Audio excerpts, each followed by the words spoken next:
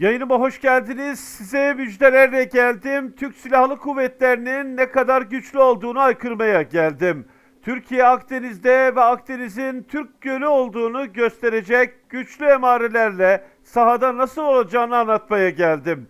Yayına geçeceğim. Kahveniz veya çayınız varsa gidin güzel bir kanepeye oturun. Kahvenizi alın. Keyifle bu yayını dinleyin. Evet yayınımıza geçiyoruz.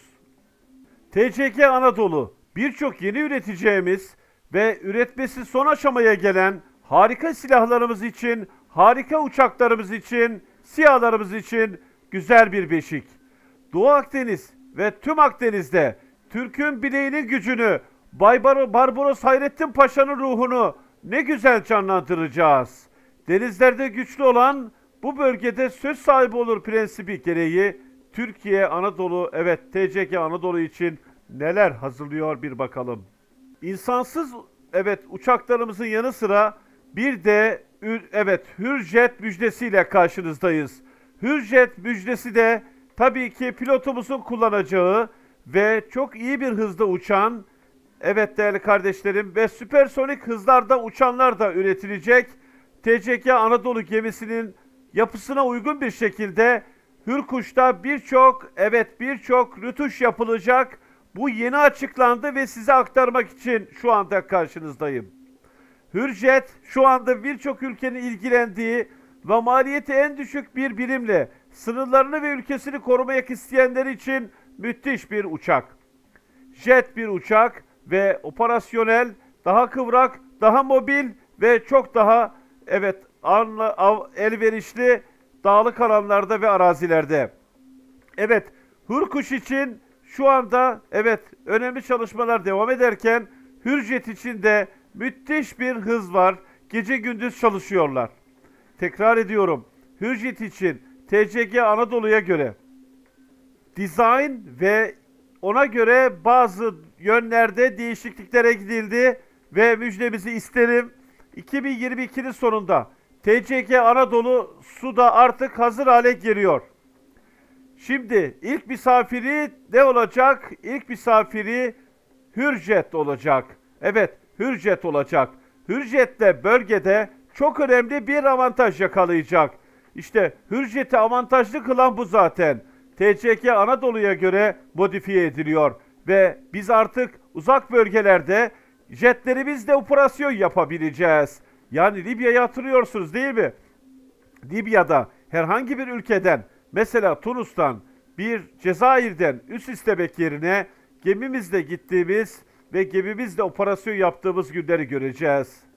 Bir müjdemiz daha var. TB3 Bayraktar SİHA. Evet TB3 Bayraktar SİHA'da Anadolu, evet TCG Anadolu'nun yeni müdavinlerinden. O kadar hızlı ki TBG, evet TB3 SİHA'mız 2022'nin sonunda ne yapacak? TCG Anadolu'da konuşlanacak.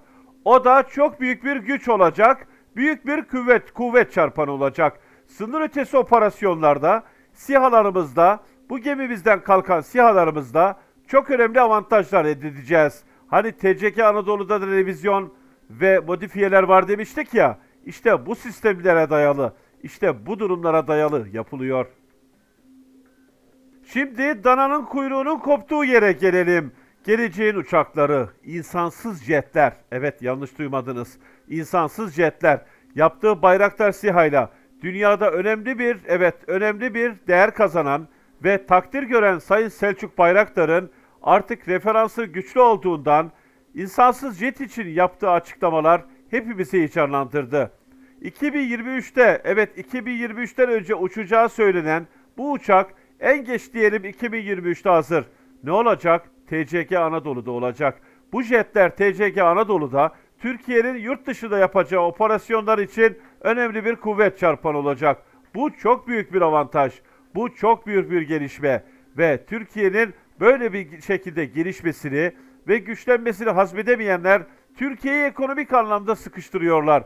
Şimdi sizlere özellikle yeni güzel adımlardan yeniden bahsedeceğim.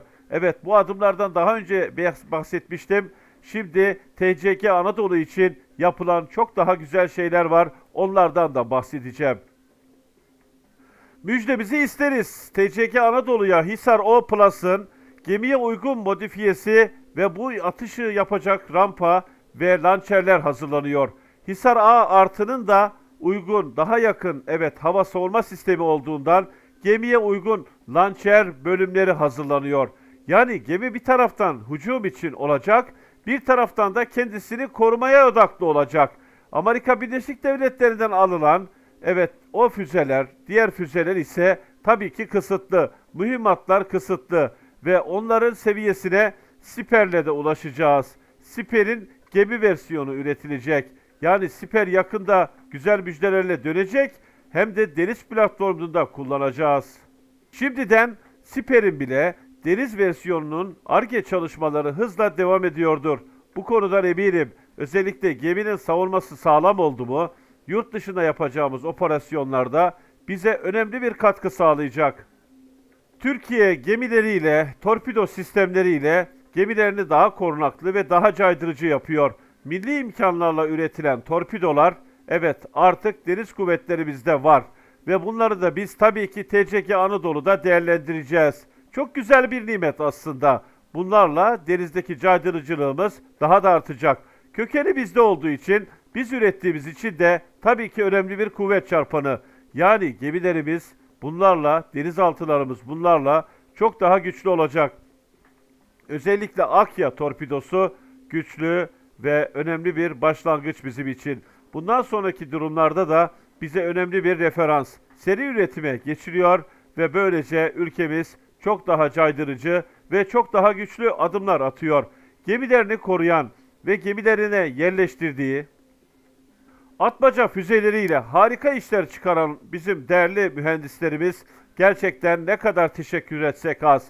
Atmaca hem kara platformlarından hem de deniz platformlarından atılıyor. Özellikle atmacalarımız kıyıya yakın bölgelerden düşman gemilerini asla affetmiyor. Ama bir husus daha var. Özellikle atmacaların hava savunma sisteminde bile kullanılması yoğun bir şekilde konuşuluyor.